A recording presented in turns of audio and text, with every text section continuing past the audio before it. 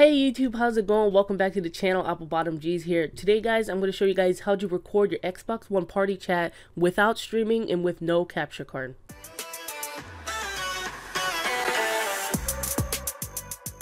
So essentially what we're going to be doing in this video is we're going to be adding two separate Microsoft accounts to the same party and then recording the audio from the party.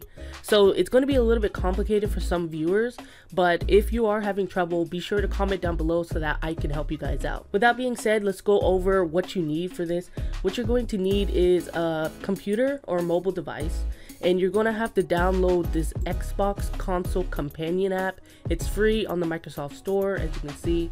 And then with that, you're going to need two separate Microsoft accounts. So you're going to have your main account, and then you're going to have your secondary account.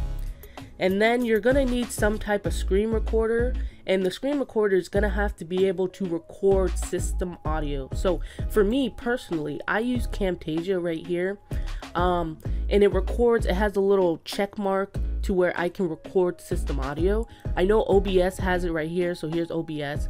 Um, but if you're going to be using a screen recorder off your phone or somewhere, you know, on the internet, um, you're going to have to make sure that it records system audio.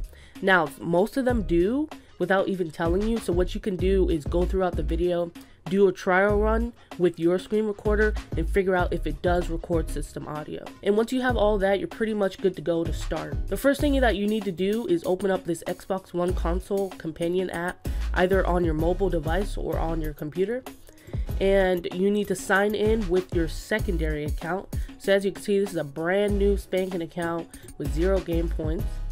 You need to add yourself to a party and then you need to add your friends to a party. So as you can see, I have one friend, Michael Kress, and then my secondary account's right there. What you need to do is go ahead and mute your secondary account. So I just muted it right there.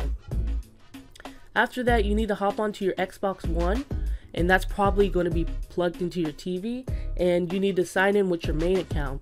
And what you're going to do is you're going to add your main account to that same party that's where your secondary account is in. Once your main account is in the same party with your secondary account, all you have to do is mute your secondary account.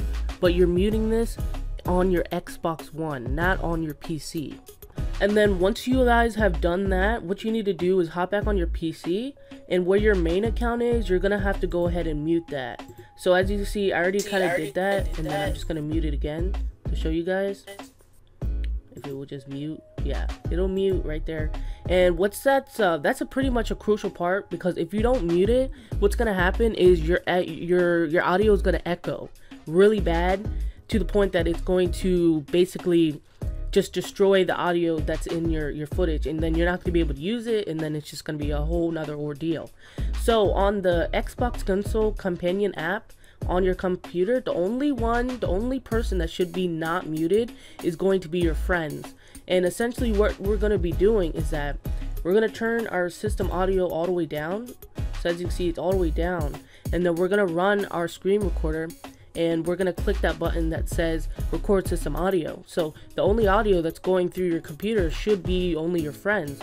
So your screen recorder is going to record their party. And then in, when you're editing, um, you can just add those, um, you know, screen recordings, the audio portion to your editing to your video. So essentially you are recording your party chat and then you should already be recording your voice through an external mic or something like that.